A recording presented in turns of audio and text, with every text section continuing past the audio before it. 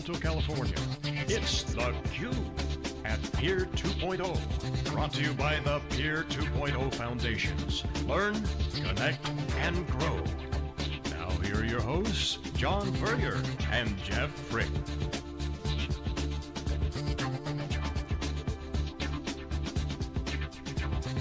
Back everyone. We're here live in Silicon Valley. This is theCUBE. I'm John Furrier, the founder of SiliconANGLE and co-host of theCUBE with Jeff Frick. Our next guest is Jay Adelson, serial entrepreneur, uh, luminary in the social media community, founder of multiple companies, um, also involved in uh, hosting way back in the day. We're here at Peering 2.0.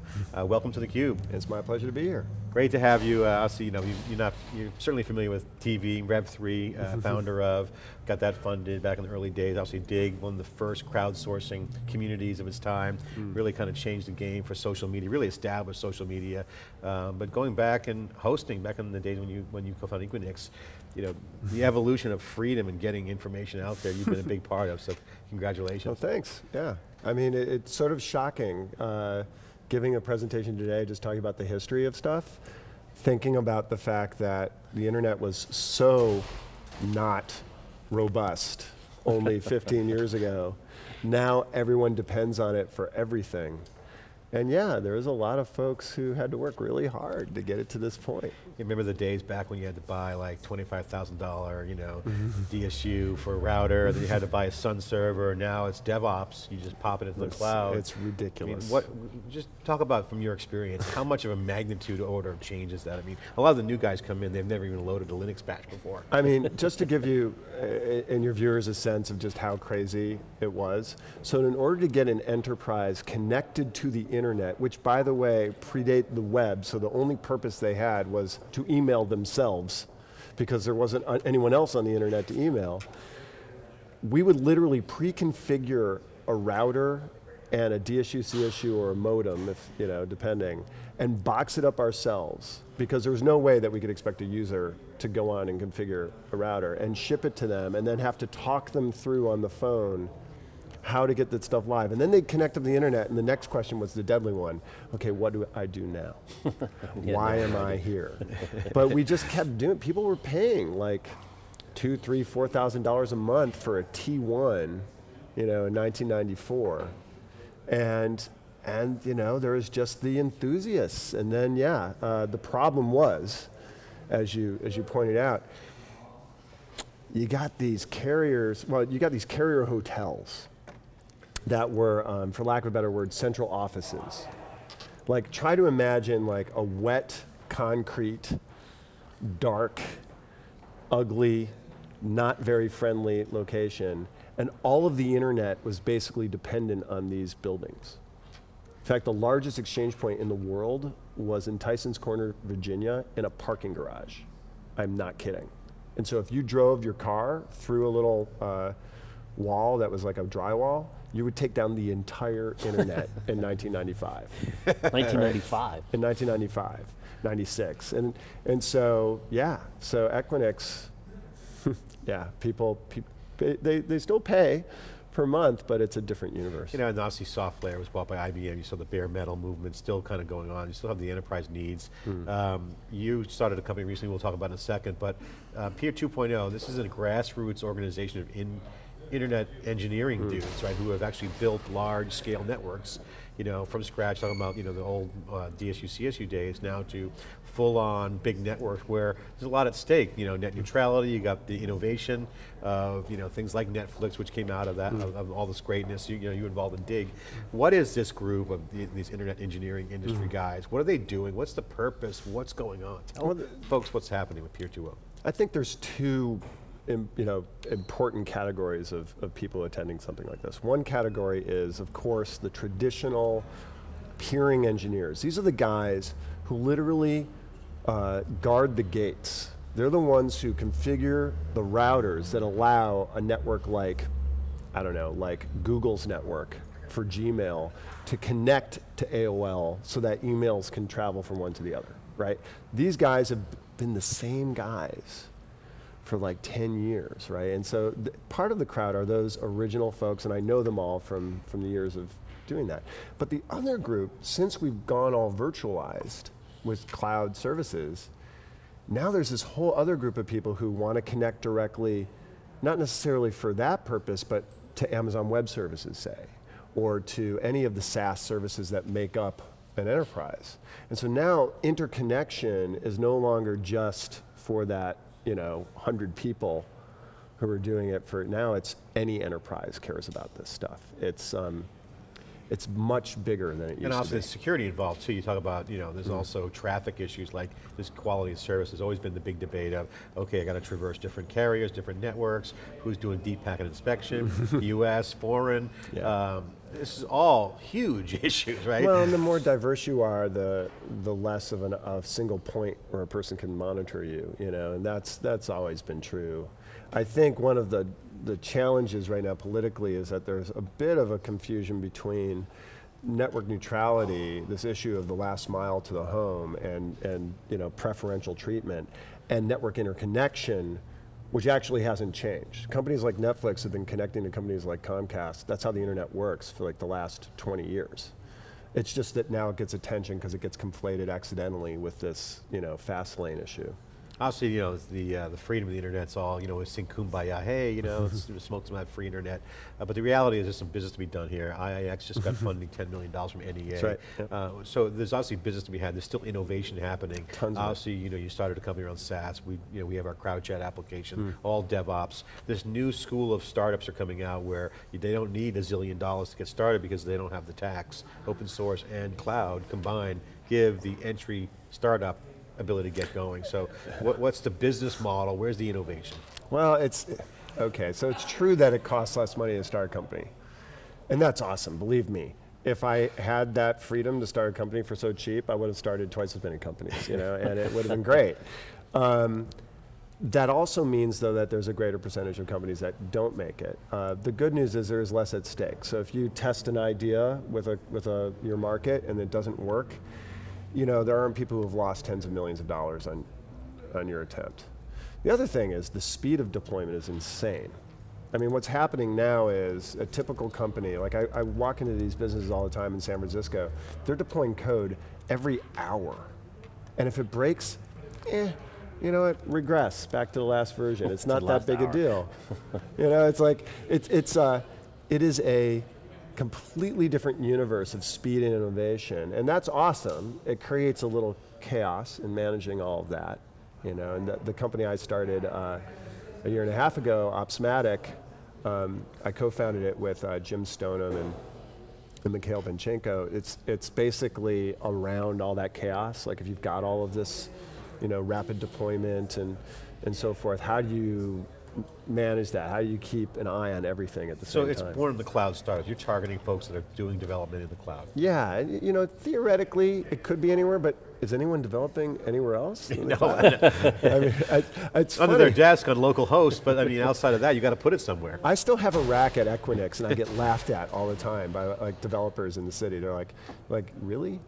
You have a rack? Like, d- do you have a router?" It's a shrine. point, you know, come on, it's, just- it's a it's a nice badge It is cool. It's cool. So Jay, talk a bit about you know kind of the changing expectations of the Hmm. people, you know, the young kids that just sat through your presentation that have no idea of, of the reality that you described only 15 short years ago. Yeah. I mean, how how is the expectation and the behavior of the applications and connectivity and speed um, pacing against the reality of the old guys that are trying to keep up, as well as the new people that are using software and some other tricks. Hmm. Uh, you know, has that completely flipped?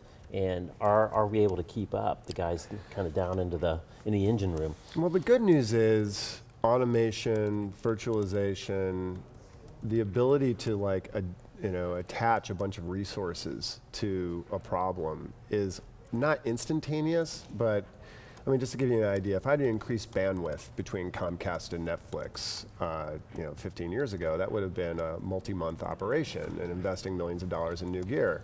Now, even on the telecom side, I can deploy services incredibly fast. And you know, Ethernet, I can just deploy another 10 gig interface. You know, I mean, so the technology has gotten to the point where we're not waiting for technology. I think that there's a there's bureaucracy, there's regulatory, there's other kind of friction in in some of this. Um, there's of course the negotiation that has not changed. Right. So, you know, if I'm, uh, you know, in a situation where I have, uh, you know, to negotiate a paid peering agreement with a potential competitor or, you know, an upstream provider, I don't think it's a big surprise to you guys that that process is just as archaic as it was 20 years ago. What are the big issues technically in terms of the discussions here? I mean, there's some real alpha geeks here. I mean, a small group right now, first conference. What is the big technical issue in your opinion that people are focusing on? Um, You know, that's a great question. I think, uh, honestly, there's a, it, it's less of a technical issue. I think it's more of a architectural, you know, sort of strategic one, where you're going from a world where you have been a consumer of traffic exclusively, where you sit behind a service provider like, I don't know, AT&T or something and you just throw all your traffic through that port in the wall and you say okay there it is you know good luck. Um, to one where the content provider the consumer of that traffic is now stepping into a different architecture where they are in control of those relationships and those interconnections and you know that, that whole sort of backbone level of, of engineering. And so that leap does require that the person at the enterprise who it doesn't necessarily have to know how to configure that equipment, but they have to understand the, the sort of the, the, the qualitative security, economic uh, constraints and realities around, around that world. And, and, you know, I think that's a good thing because it makes us all more secure and, you know, we want that clue inside of all these companies. But it is, it is a leap. It's not something that needed to exist before probably a couple of years ago. So I want to switch gears and talk to you about some of the things that are happening kind of in current event. Obviously, cloud, mobile, and social has been a big trend. iPhones, you know, 2007 launch changed the game. Obviously, mobility is a big part of it. The app craze, you're seeing all the valuations are out of control. Uh, social media has certainly changed significantly now. You're seeing almost a trajectory, some say, it looks like the web or in the early days where, you know, you were part of with Digg and, you know, I was at PodTech in the early days where there was the first generation of kind of tinkering around with social, then it became the hype phase. But then, you know, Facebook, LinkedIn, all, a lot of infrastructures in place, and you're seeing the trend towards social business, where you're starting to see web presence. Remember back in the day, you, you know, people had to have a website. What do I do mm. next? These were the questions. You, you should mention that. So the web was put a website up, and then it was kind of laughed at. People did business on the web. Digital became primary. Social was kind of laughed at initially. Uh, it's just you know for PR or for kids. Now you're seeing more systematic infrastructure Yeah. with SaaS. So what's your take on that evolution? Do you think it's real? Is going to happen sooner than later? Is there a bubble bursting? And what's your take on social media as it tries to get mainstream with the Yeah. business impact? Well, I, d- I think us calling it social media is the first thing that's going to change. Like it's sort of like we finally figured out we were waiting for mobile to take off. Like when's the mobile market going to hit? And and of course we all agree it's a it's a mega trend. But what we finally figured out is it's actually not a category. It's just an additional screen. And once we understood that, it kind of changed our way of interacting. I think social media is kind of the same thing. It's not, it's not that there is this category of social media that is now the new hotness. We're, we're finally recognizing that it is simply that is what media is. And that is just the way we communicate, and that's the way we advertise our businesses, and that's the way we engage with our, with our communities. It's just reality. So I don't think that like an enterprise today even has to necessarily do anything to make that real. It's just accepted as reality. I could tell you most of the uh, you know companies I advise, for, for probably does do most of their communication with their with their audience in places besides their destination websites now, right? On Twitter, for example. I mean, we just just this conference where this is how we communicate with people. So it's different, and So native, it's just basically no one's going to talk about it. Just it, it is it what just it is. what it is. is what it yeah, and it, that's hard hard for me to. You know, when you when you fought the battle, like building Digg, and like, you know, establishing community and getting people to use social media, and you're fighting and you're fighting, and now it's just take it for granted. Yeah. There's a little grumpy old man in me who's like, Get off my lawn. you know, I was there. you know, we fought hard, but, yeah. You guys found it. I mean, Digg was truly the first crowdsourcing dynamic. There was also tech forums at IRC, all that stuff that we're, we're familiar with. But then when you started getting into the dynamic world, there was actually a forum Yeah. the dynamics, the crowd storming, the crowd sourcing. was Crowd in real- storming is sometimes very storming the gates, take down that, uh, that Well, code. Let's talk about that a little bit because we, we talked a little bit about that off air, and you were telling a story of kind of an early experience with, with Digg and social media where you know the crowd basically dictated, you know, kind of took over control of what they wanted to talk about. Um, and I, I always find it interesting with kind of really large enterprises that have so tightly controlled their messaging, so tightly controlled their logo access, so tightly controlled these things that are they really ready to kind of let somebody say stuff about you when there's going to be always some percentage that you don't necessarily like, agree with, or feel comfortable. And so you're not in control. and you're not in control. So I wonder if you could tell that little story uh, Sure. of before, and, and, and you were progressive and on the front edge. This is very different than some of the Fortune 500s that are having to face this every day. And, now. and you know, and to some extent, you got to give a little bit of slack to the Fortune 500s who have been around for 20, 30 years, and you know, the mediums are changing around them. So, ex- and, and sometimes it's just from a corporate culture standpoint impossible for them to react to these changes. I mean, Digg, even we were shocked. Here we were a crowdsourced medium, you know, where buttons were on everyone else's website to, you know, dig dig stories, and the and the actual homepage of the site was dictated by the users. That's the whole point of what Digg was, right? So to some extent, it shouldn't have been a shock to us that users would start posting things that maybe weren't legal. And there was this thing with HDVD and Blu-ray. So I guess one of our users figured out how to crack the HD DVD key and posted the HD DVD key, like the number code. So we're like, okay, that's whatever. It's nerdy. No one's going to notice. But sure enough, you know, we get the DMCA. What is it? The uh, the uh, uh, the cease and desist letter. Cease and desist, right, right. And so we're like, well, what are we going to do? So we took it down, thinking, well, okay, whatever. It's one story out of a million. Our users decided that wasn't okay and started resubmitting the story using the code as the title of the story. And then we would delete that and they would submit it faster. And then we'd create an algorithm and then they would create an alternative way of presenting the information. They had a guy who recorded himself on a video singing the code numbers, right? I love that And one. this just, finally we were getting like, I think two submissions a second. And the whole site became 100% the HDVD key. There was no way to operate the business. Ads wouldn't load. Dogs and cats living together, mass hysteria. and, and, uh, and yeah, I mean, it was as wacky as that was. I mean, really, the only way to solve the problem was to post a, po- a blog post that said the title of our blog post to our community was the code number and said, We give in, you win, you run the site, not us. and what happened on the legal side? Nothing, because the reality is with any of that, you know, EFF guys will tell you this too. There's, there's, you know, the, there's really nothing they can do.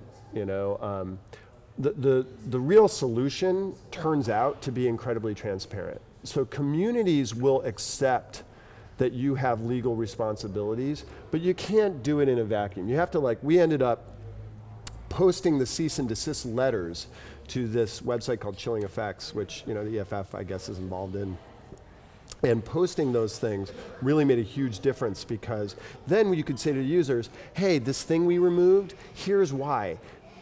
You know, complain about it with us. We're on your team. We're in this together." And that was probably the skill set we developed. Jay, talk about the, uh, the current social network situation. Obviously, Twitter uh, had great earnings, and they got they're trying to shift the game a little bit. They, they're starting to talk about words like producer, consumer, more traffic hitting their site that aren't logging in. So you, you're seeing people with the user experience for Twitter, you know, kind of struggling, but they're changing. Facebook certainly kicking ass and taking names in terms of numbers and, and, and dollars, and their ads are, are booming. Then you got LinkedIn kind of doing the, the business thing, trying to be relevant there. Um, will there be siloed social networks continuing to come along? Do you see that trend? And then what do you think of Twitter relative to the crowdsourcing? Are they unique? Will they compete with Facebook? Give us your, your view of, of what's going on in the social network. Are, will there be a lot of social networks out there? Is there a long tail effect for networks? And then what about the big three?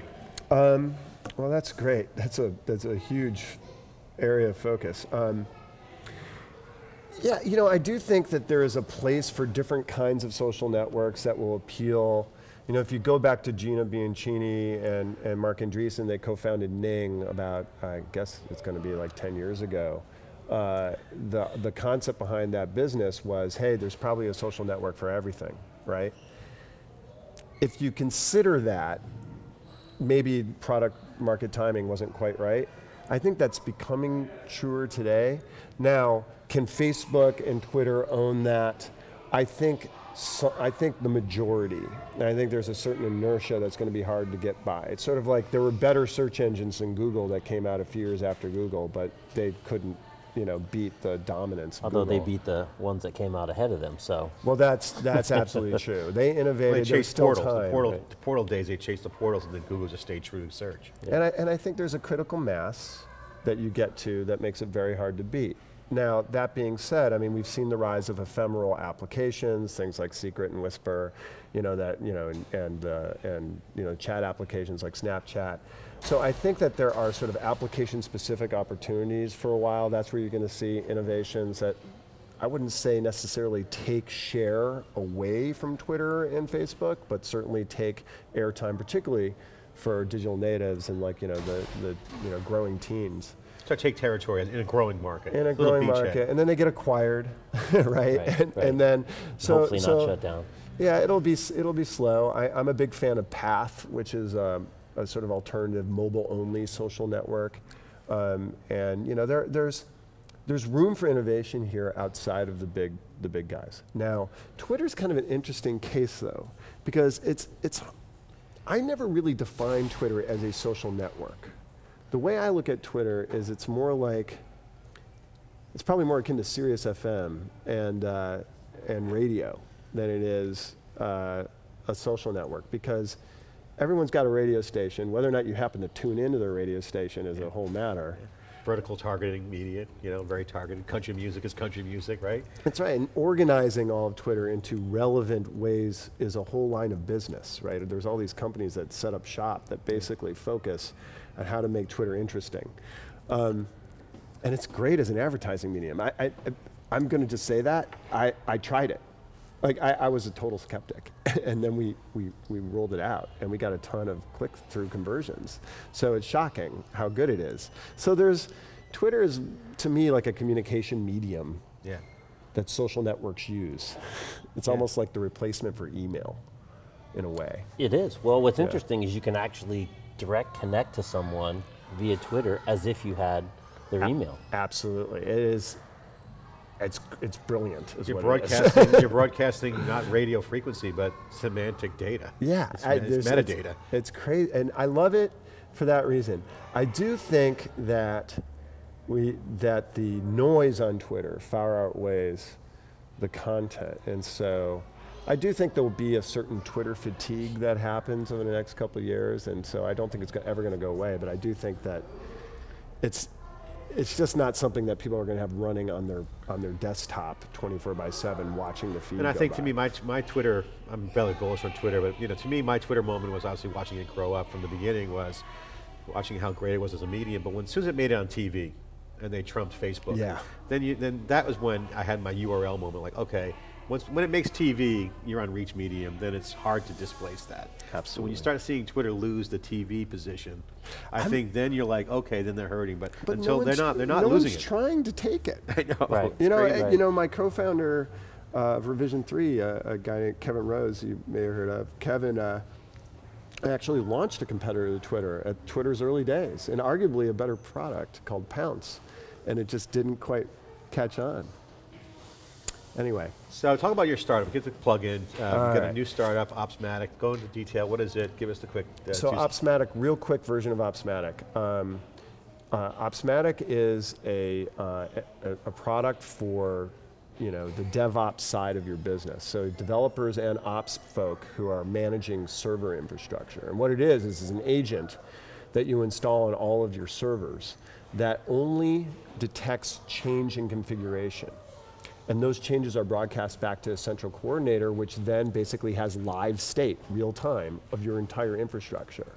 So if you want to go back to last Thursday at 3 o'clock in the morning and see who logged in and what changed and what file dependency shifted when you ran this puppet run or the chef run, You can see exactly You're the what drop happened. cam for DevOps. Yeah. it's sort of Roll like, back. It's like Dropcam and time machine for DevOps. yeah. Really, so you can go in, and so from a troubleshooting standpoint, is that the primary thing? We're looking at optimization. Is that really the primary use case? Yeah, it's it's you know I think that any any organization that is changing in real time, pushing stuff to production regularly, is basically in a position where entropy happens. Things change on machines that you don't expect to happen, which lead to things breaking. And the problem with that is that it, you know that's expected. People embrace change. Change is fine, and entropy is fine, and things break all the time. But being able to get to root cause and understanding sort of the situation because in, in this world of, of managing Unix machines in particular, you have a thousand files on that machine, all that have some kind of impact. When you plan your automation, you're not thinking of all those files. You're just thinking of your services you're running, like Apache or, or you know, MongoDB or whatever it is. So all the dependencies on underlying file system, there's all these things that can go wrong, and we shouldn't expect you to know to look. So for example, the OpenSSL thing that happened, the Heartbleed, just try and run a search across your 1200 you know, server instances for what version OpenSSL is running on all those machines. Our product, because it knows everything about every machine, you type OpenSSL into a search box, bam, it tells you the version on all of your machines. And you can immediately go and localize this kind of stuff. It's, it's, once you, once you see it, you realize that it, the, the opportunity as a platform is, is pretty Splunk staggering. has certainly got some success on the big data side with log files in a similar weird way, but not directly, but similar kind of advancement in terms of making it easier for folks to, to deploy and efficiently do stuff. Yeah, it, Splunk is fantastic. It, you know, the, the presumption is your log file has everything in it, right? And so our customers use both. Jay, great to have you here. We're at Peer 2.0 live here. This is theCUBE. I'm John Furrier, Jeff Frick. Jay, uh, final word for you. What's next for you? What do you continue working on the startup, other investments? What are you going to work on? Starting a venture capital firm. Okay. okay. We should have another 30 minutes to talk about that. You got the scoop The here. resumes are Um, flowing. uh, any timing on that? And you want to announce? It's, not, not happening? quite yet, but Can you actually talk about raising money? I think that's technically now you can do that. Some sort of like law you can't disclose, but we'll, you know, but there. I, I'm, I'm, I'm, you know, it's going to take me a long time, like a year, year and a half, but it's a lot of work, and I'm just starting. Jay Adelson, uh, serial entrepreneur here inside the Cube. We'll be right back with our next guest here, Peer 2.0. I'm John Furrier, Jeff Frick. We'll be right back.